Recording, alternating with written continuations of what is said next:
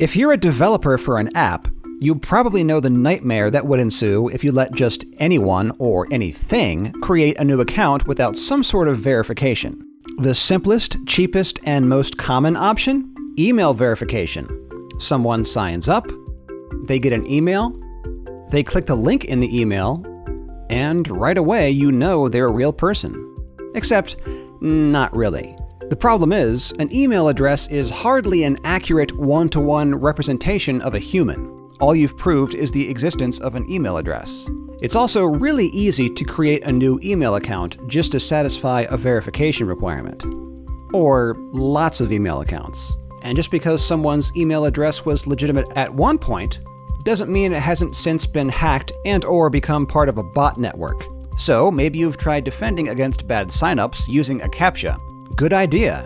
You just got rid of all the robots. But this won't stop a human with criminal intentions, let alone a whole workshop of them. Oh, and CAPTCHAs generally frustrate people like crazy. But there is another piece of information you can use that's a much better indicator of a real person accessing your business a phone number. It's harder to fake and more expensive for a hacker to scale an attack.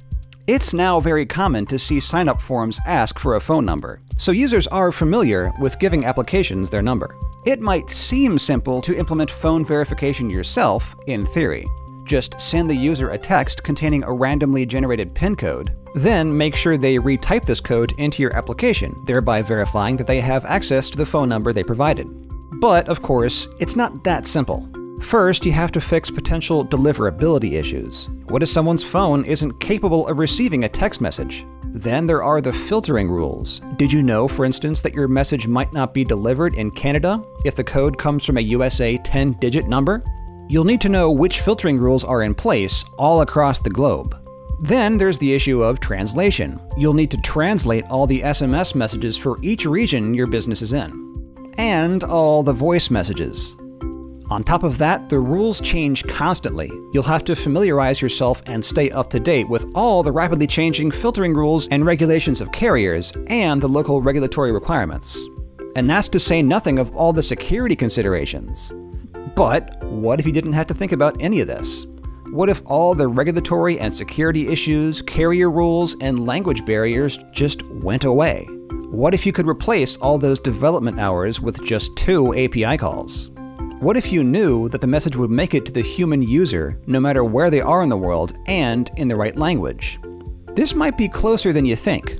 Step 1 Sign up for a Twilio account if you haven't already. Step 2 Head over to Verify.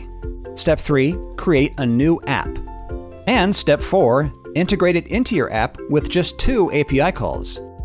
The first API call sends a verification code to your user, either by voice or SMS. Let them choose. And then, once the user has entered the code on your website, the second call verifies with Twilio that that code was the correct one. Voila! No writing extensive code from scratch. Be confident that the message will make it to its intended destination, and that the user is, in fact, a real person with a real phone.